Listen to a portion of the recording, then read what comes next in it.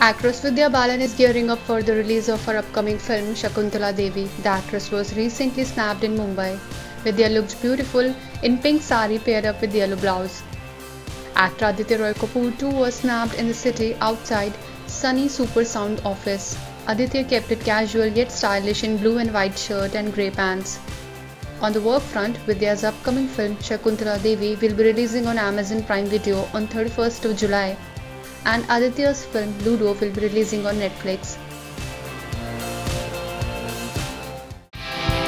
Subscribe to our channel. Just click on the bell icon for all the latest updates.